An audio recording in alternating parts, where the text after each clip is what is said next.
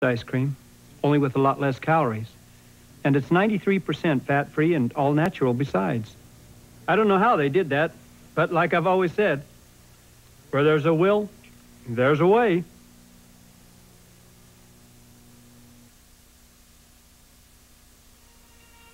You are watching WCCO Television, Minneapolis, St. Paul.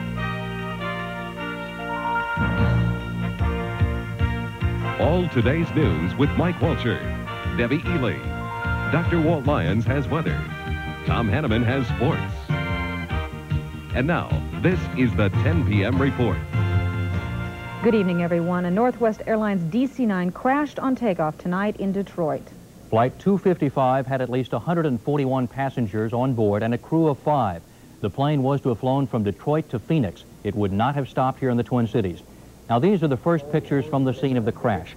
The plane attempted to take off just before 8 o'clock Twin Cities time tonight, but witnesses said it appeared to have trouble gaining altitude. Then it hit a highway overpass and at least one car. Witnesses say the plane was on fire as it crashed near the Detroit Metropolitan Airport. As you can see, there are plenty of rescue squads on the scene. We still have received no firm word about casualties. One witness, however, said there were bodies scattered everywhere and parts of the plane strewn over a half mile. There are also reports that at least one person, possibly more, survived the crash. Michigan State Police have closed eastbound Interstate 94 and I-275 near the Detroit Metropolitan Airport, where a Northwest DC-9 crashed a couple of hours ago. Mike, I know you were monitoring the Detroit station on the network line this evening. There has been some talk about at least one survivor. Yes, we understand from uh, station WJBK in Detroit that one person was taken to a hospital in Wayne, Michigan. It's not clear whether that person was a passenger on board the plane or someone on the ground who was injured when the plane went down. However, one person, a woman, was taken to a hospital. No other people, though, have been taken to local hospitals, according to the CBS affiliate in Detroit. And it's interesting, too, in watching the news wires tonight, people on the ground are very insistent that they did see a fire on that plane. We were working the phones over the last uh, hour, talking to people at uh, the Detroit airport. I talked to several police agencies and also some other rent-a-car places at the airport very near where the plane went down. And one woman from uh, National Rent-A-Car at the airport there said, yes, the plane was on fire as it went down. The woman was extremely shaken. She would say very little more than that, but she did confirm that the plane was on fire as it went down. And if we get more information during the course of this newscast, we'll pass it along to you. One person remains in critical condition in a Duluth hospital after a plane crash last night in Solon Springs, Wisconsin.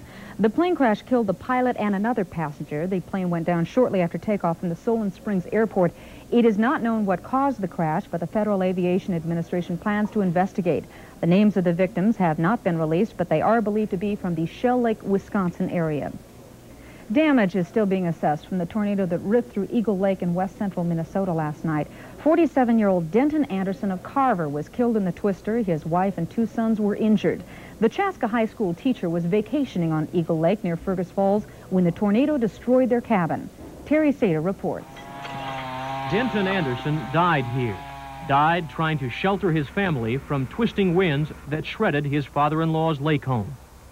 Worse than I had imagined. I, met, I knew it was all gone, but I didn't think it'd look like this. Today, 15-year-old Denise Anderson quietly searched through the aftermath of the storm that killed her father. Somewhere in the debris are memories of happier times. Jim Merton says it's a miracle Denise escaped the storm uninjured. She was visiting at Merton's home when the tornado hit. And she said that the truck lifted up off the ground as she got nervous and she come around this way. Thank goodness she didn't come this way. Merton says his family had little warning. The boat flew up over the house, and then the walls came in. The daughter and I were trapped underneath uh, that wall there, and, and my little guy was, the glass blew out of the, uh, the sliding glass doors, and miraculously he wasn't hurt. Brad Burgum was staying just a few homes away from the Mertons. It just came like uh, you see a tidal wave, and just, and that's it. Came so quick. The last I remember, we got in, my hand went through the storm door as I was trying to hold it, and glass came and broke. The refrigerator fell on top of me, and a wall fell on top of me. I just lifted up the wall in the refrigerator and climbed out. Down the shoreline, Eileen and Cliff Moulton were also caught off guard.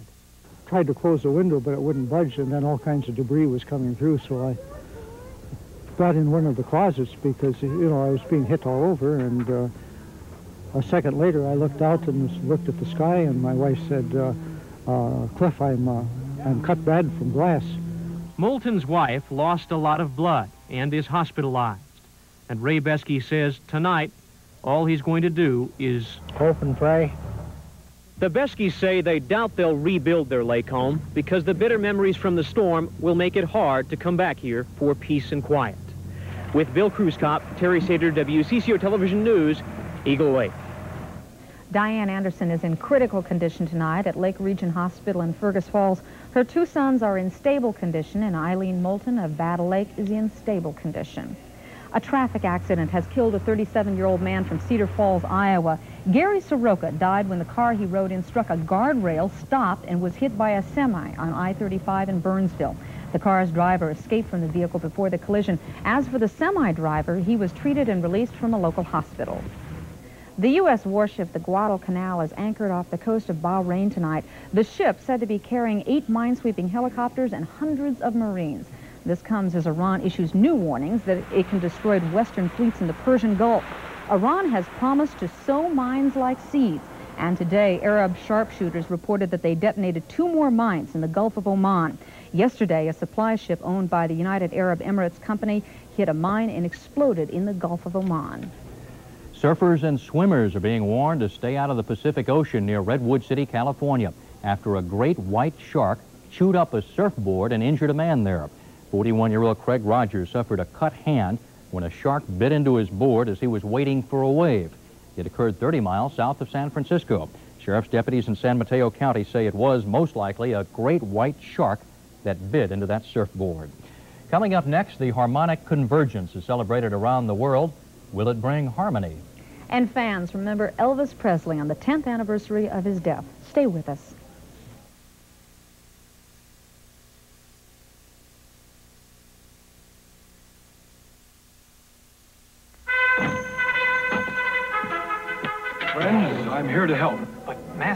We always use regular. There comes a time when even regular folks must turn to silver.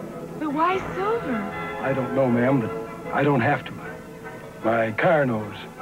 For better performance than regular unleaded, try pure Amoco Silver. And we didn't even get to thank him. Neither did our car. Well, silver! It's hit. Chevy Mania at Twin Cities area Chevy team dealer. A saving storm of Chevy value. 1987 Chevy S10 Blazer 4x4, just 11,993. A 4x4 under 12,000. You get 43 features, tinted glass, dual mirrors, power brakes, full instrumentation cluster. 87 Blazer 4x4, $11,993. Chevy Mania this week and only at your Twin Cities area Chevy team dealer. Now take advantage of just announced 1.9 APR or cash rebates.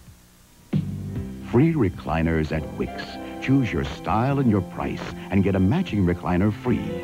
Comfort Plus recliner, $399.99. The Wall Hugger, $499.99. Triple Back Wall Saver, $599.99. The Luxury Wall Saver, $699.99. Buy one, get one free.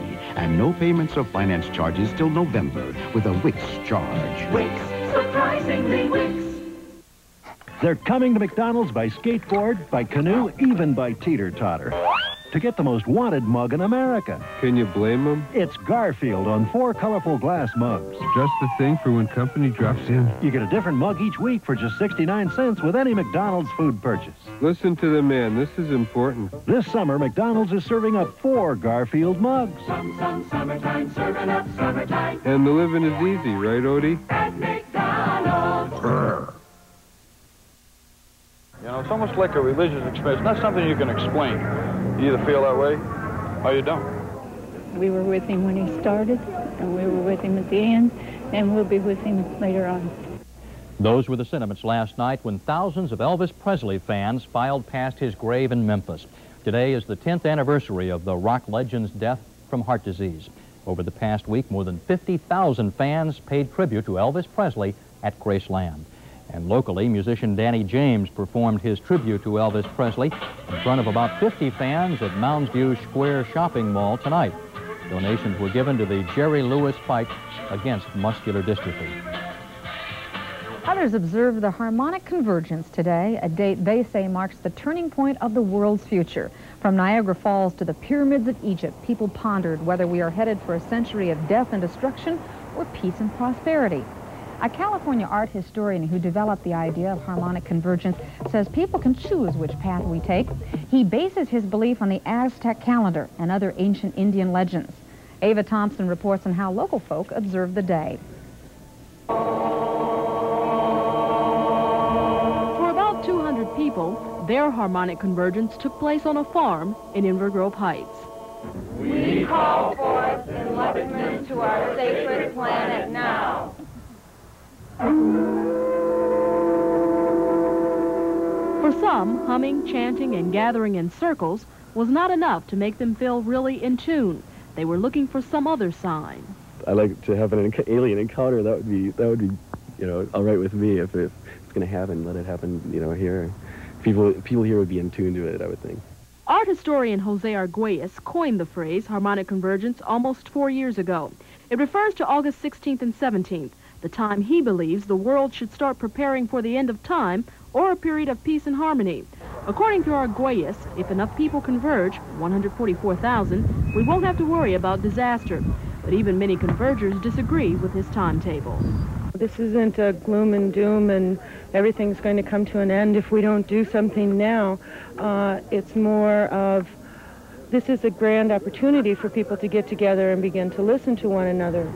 Many of the ceremonies held included Native American rituals. This one is supposed to ward off negative feelings. Some wonder whether these kinds of spiritual experiences can be turned into action. I don't believe it's only something you can do with your with your spirit, but you have to actively do something politically or helping people. But it's a way to build a strength. Even though there seems to be some discord about final results, there is harmony on the hopes for this event, that it will heighten people's awareness about world peace so the aspiration never goes up in smoke. Ava Thompson, WCCO Television News, Inver Grove Heights. Harmonic convergence observances will continue throughout the metro area until sundown tomorrow. I trust our weather will be harmonious. Reasonably so. Uh, we're going to have a very, very nice Monday, and uh, tonight's going to be very, very nice, so really there's no complaints. But elsewhere, it's not so nice.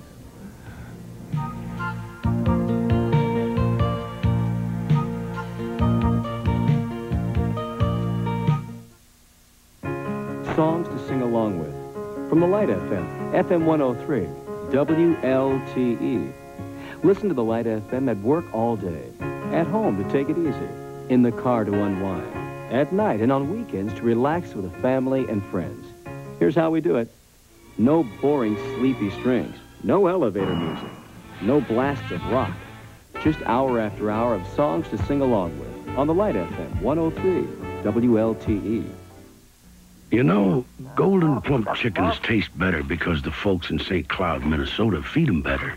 Fact is, they eat better than most people, including Emmett here, who eats most anything. But our birds eat a special diet of corn, vitamins, and minerals. No hormones, nothing artificial. So to eat as well as a golden plump chicken, you've got to eat golden plump chicken. Raised by Minnesotans the best way we know how.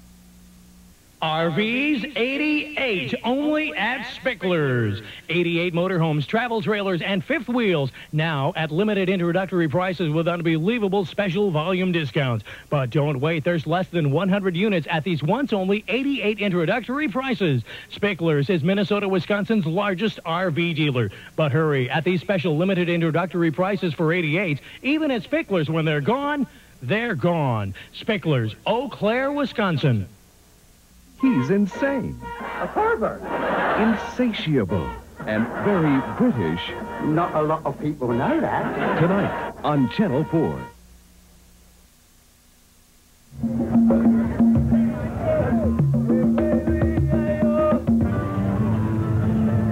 The music was a big draw on the west bank of Minneapolis today. The annual Cedar Fest lured crowds to celebrate the cultural diversity of this area.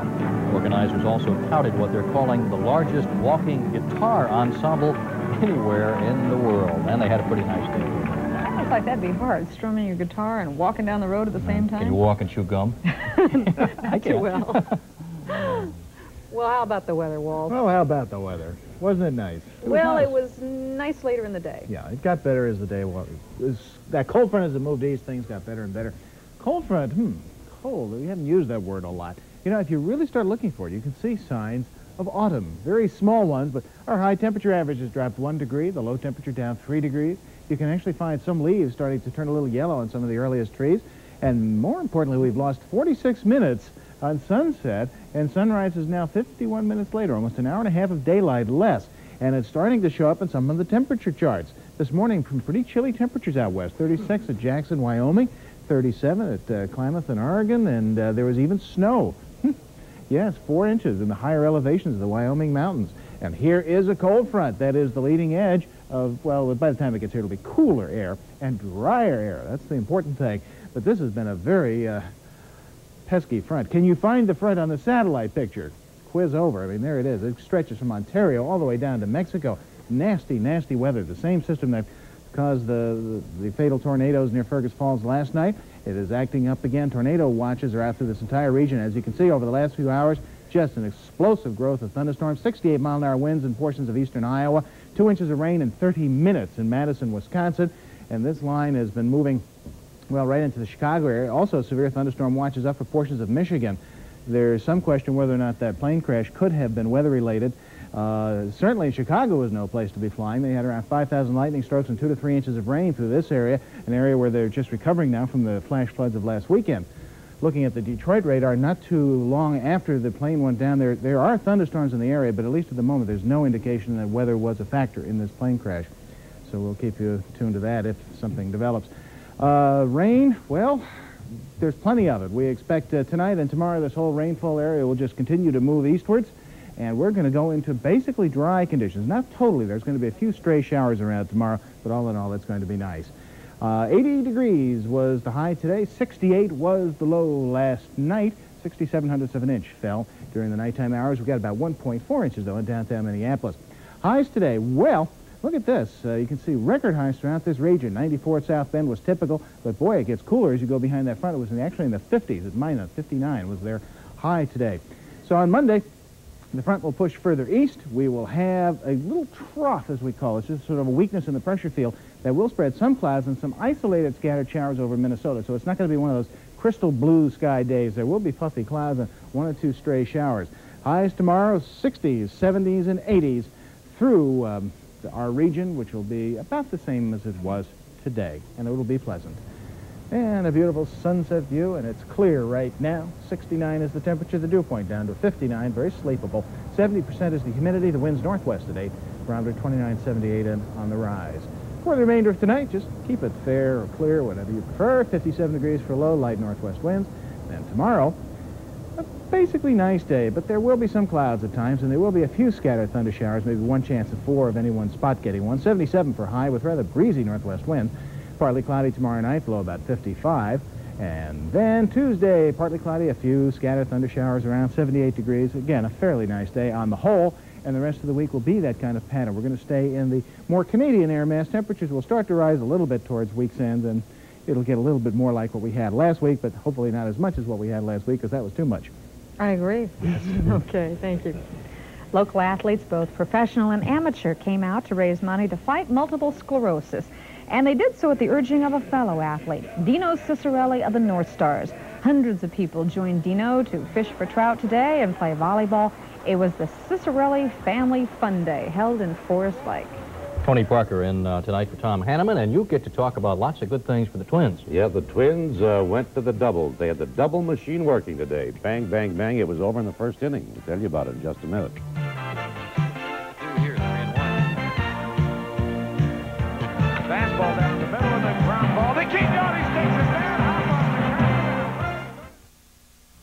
This October, join WCCO Television and Holiday Travel in California. See San Francisco, Los Angeles, and in San Diego, we'll relax at the tropical Hanalei Hotel. We'll enjoy dinner and a show during our stay at Lawrence Welk Village. Eight-day tours depart either October 1st or 29th. for your free brochure. Call the WCCO California hotline weekdays 7 a.m. to 8 p.m. 1-800-826-2266. Come away with me, Lucille, in my merry Oldsmobile. That goes back a long way, and so do I. And so does Oldsmobile. They just turned 90, and they're having this terrific 90th anniversary celebration. And now you can celebrate with 1.9 APR GMAC financing or up to $1,000 cash back from Oldsmobile. Thanks, Lucille. It's an opportunity that comes once in a lifetime. In my case, maybe twice. Or even three times. See your Olds dealer now. Be at the Dome Saturday, August 22nd, as we kick off our home schedule with a preseason game against the Indianapolis Colts. Get your first look at the Vikings as we gear up for what should be an exciting season. Come to the Dome and enjoy Vikings football. Call Dayton's at 375-2987 or the Vikings ticket office at 333-8828 and reserve your seats now for the Vikings preseason action against the Indianapolis Colts. Tickets are selling fast, so call now. Mm, now, this is my kind of ice cream. Real smooth, you know? You'll never catch me eating any of that frozen yogurt. Surprise! It's Yoplait. New Yoplait soft frozen yogurt. Not ice cream. Ice cream. Say ice cream. Ice cream. You got it right. Surprise! It's Yoplait. New Yoplait soft frozen yogurt. Brakes might not have been there early, but they're sure here now, and uh, uh, you know it just makes all the difference in the world. It looked like it was going to be easy for you after the.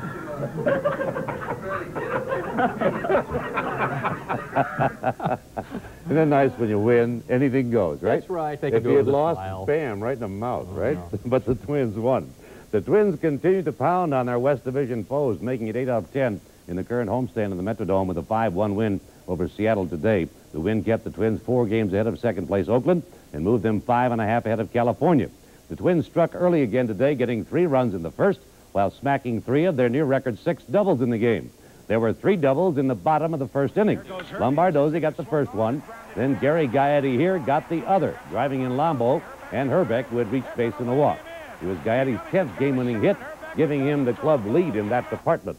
The G-man scored minutes later when Gene Larkin hit a mirror smash down the right field line that was also good for two bases. After that, the Twins left it pretty much up to Viola, Viola until the eighth inning. Viola went eight innings, allowing just five hits, striking out five to get his 14th win, his 13th win in his last 16 decisions. Viola got good support. Watch Steve Lombardozzi here make the highlight film with his twisting, reaching, diving catch that was ticketed for extra bases. Gaetti doubled again, leading off the bottom of the eighth. He advanced to third on an infield ground out and scored when Tom Brunansky here hit the sixth double of the game, one short of the team record. That made it five to one Twins. When Viola gave up a leadoff single in the ninth, Reardon came on. His first pitch, a comebacker here that will hit him, but deflect right to Gagne, who turns it into a double play. Reardon struck out the final Seattle batter. In tomorrow night's finale in the Dome, Les Straker faces Seattle's league strikeout leader, Mark Langston. Gary Gaetti talked to us about fast starts tonight. But uh, it's nice to get the home crowd into the game and to maybe take some of the tension off the, the pressure off of our own pitcher. I think that's what's important. All right, let's take a look now at the American League. Oakland beat California 9 to 6. Detroit topped Kansas City 10 to 6. Toronto over the White Sox. Cleveland shut out New York. Boston 12, Texas 2. Milwaukee beat Baltimore by the score of 6 to 2. Steve Ontiveros made a mistake on this pitch, and the Angels' Jack Howell converted it into the third home run of the inning. The A's, though, got the last laugh. As we say, they came back for a 9 to 6 win. Paul Molitor's picture may be a permanent fixture when he returns to County Stadium in Milwaukee. He extended his hitting streak to 31 games with this opposite field double today. The Brewers knocked off the Orioles 6 to 2. Taking a look now at the National League scores, Philadelphia over St. Louis, and look at that New York-Chicago score. They got more points than the Bears and the Dolphins tonight. Montreal beat Pittsburgh 10 to 7. Cincinnati 2, San Diego nothing. In 10 innings, San Francisco just got by the Dodgers, and Houston beat Atlanta 6 to 2. Well, Soldier Field may be the football field in Chicago, but Wrigley provides football-like scores. Darryl Strawberry had four hits and five RBIs as the Mets beat the Cubbies by two touchdowns, 23-10. You know when it rains, it pours. Tim Raines poured all over Pittsburgh today. He hit for the cycle with a five-hit performance. The Expos sweep the Bucs and move to win three and a half games of St. Louis. Well, with the problems surrounding the Cuban delegation, you really can't call the Pan Am Games a harmonic convergence, although it should be. Carl Lewis, for one, felt some positive vibes today at Indianapolis.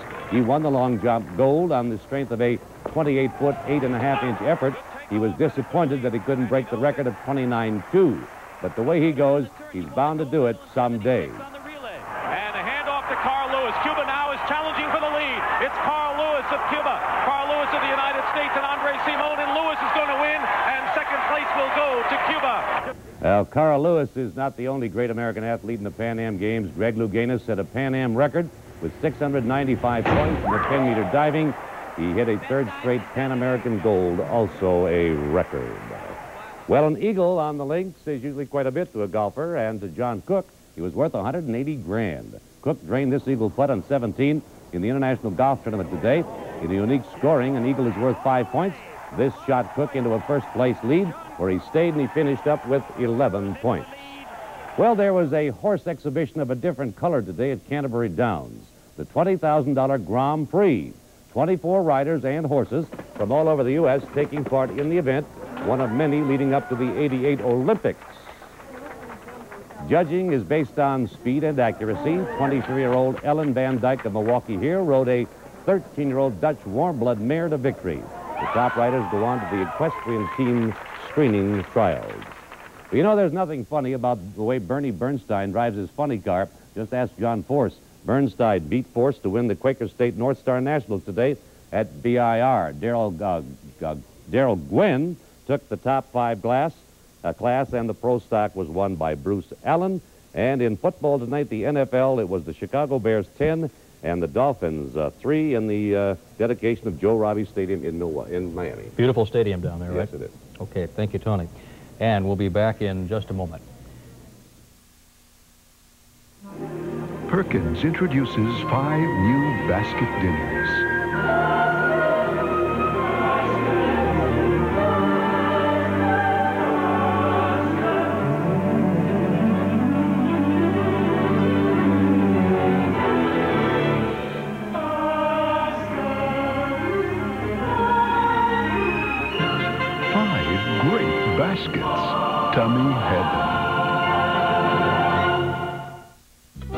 If you like staying informed with the latest news, weather, and information, and also like music from soft rock to jazz, then please join me, Denny Long, tonight on CCO Radio. Now, it's Mazda's final 87 model clearance. Get $1,000 worth of options free from Mazda or 1,000 cash back from Mazda on all Mazda cars and trucks. On every 87 323, 626, RX-7, and truck in stock. It's your choice. A thousand worth of options free or a thousand cash back. Use cash back toward your down payment or get a check from Mazda. Hurry! Mazda's final 87 clearance ends soon.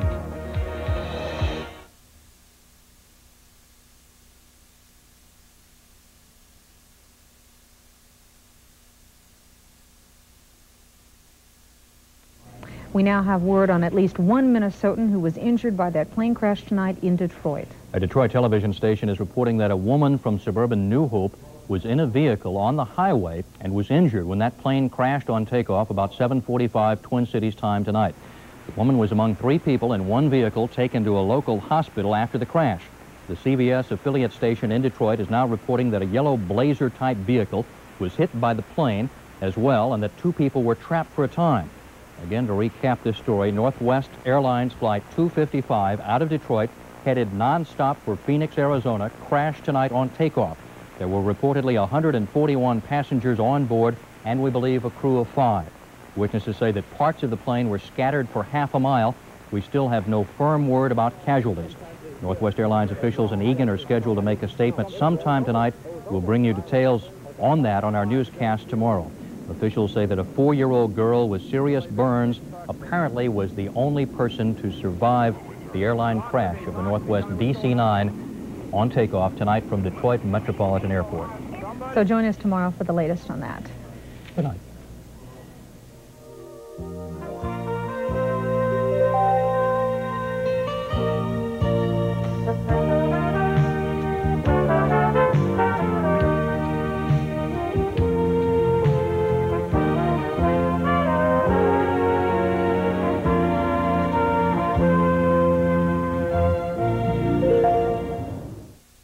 The Channel 4 editorial on the need for a new park at Lake Minnetonka Ron. Notice, if you will, how at City Lakes the entire shoreline is open to the public. Everyone is welcome. While at suburban Lake Minnetonka, nearly the opposite is true. On these shores, privacy is the general rule. The difference in circumstance, of course, is that the city lakes are surrounded by parks, because years ago, someone with great vision set land aside for public use and enjoyment. Yet even those dreamers couldn't imagine the growth of population into what then was only rural countryside. So, planners passed up earlier opportunities to establish a large park here before Lake Minnetonka became one of the area's most popular recreation sites. What we have instead are a couple of publicly owned islands and a few small municipal parks, like this one of just three acres in Mound. But it's not too late to correct this short-sightedness. Few large parcels of land with beautiful vistas of Lake Minnetonka have recently been identified for development of a major regional park. It's an idea we strongly endorse. The Hennepin Park Reserve District wants to purchase about 300 acres connecting Halsted and Smithtown Bays. One side is heavily forested. The other includes the lakefront property of wrestling promoter Verne Gagne, whose home would be preserved as a park facility.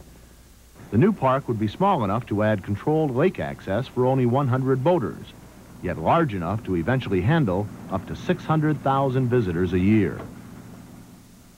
The state has earmarked $6 million for the proposed Lake Minnetonka Regional Park, but its fate lies with the city of Minnetrista, which in effect has the power to veto the plan, and where not all the local officials fully appreciate the park's value and significance. We hope that opposition will fade with broadened understanding, and that this long overdue park will be developed in its entirety to best preserve the magic of Lake Minnetonka for everyone and for generations to come. I'm Ron Handberg. We offer equal time for an opposing view. Ever since your post office